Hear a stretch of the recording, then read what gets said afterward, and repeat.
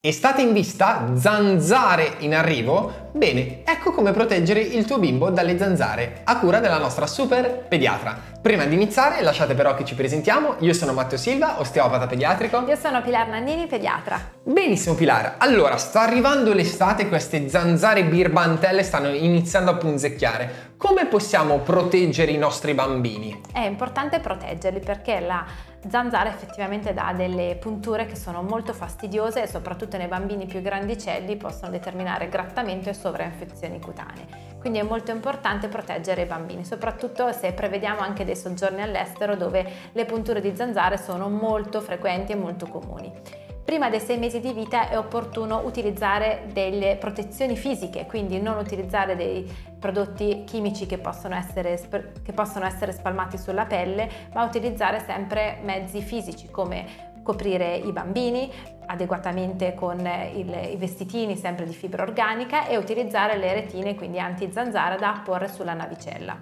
Evitate sempre i momenti del tramonto che sono i momenti in cui anche durante una passeggiata fuori all'aria aperta le zanzare si concentrano più frequentemente e possono più frequentemente andare a pungere. Nei bambini più grandicelli si possono utilizzare determinati prodotti che sono solo ad uso topico, quindi locale e cutaneo, che possono essere applicati sulla cute, ci sono diverse formulazioni, spray oppure in crema e possono essere molto utili. Ci sono alcune formulazioni eh, che regolano la traspirazione della pelle e ci sono formulazioni più specificatamente pensate per tenere lontane le zanzare. Confrontatevi sempre con il vostro pediatra di fiducia prima di eh, acquistare qualsiasi tipo di prodotto e preferibilmente utilizzare utilizzate rimedi naturali. Per esempio nel bambino piccolo anche un sacchettino di lavanda che è un antizanzara naturale può essere efficace da applicare sulla culla per tenere lontane le zanzare più frequenti e più comuni.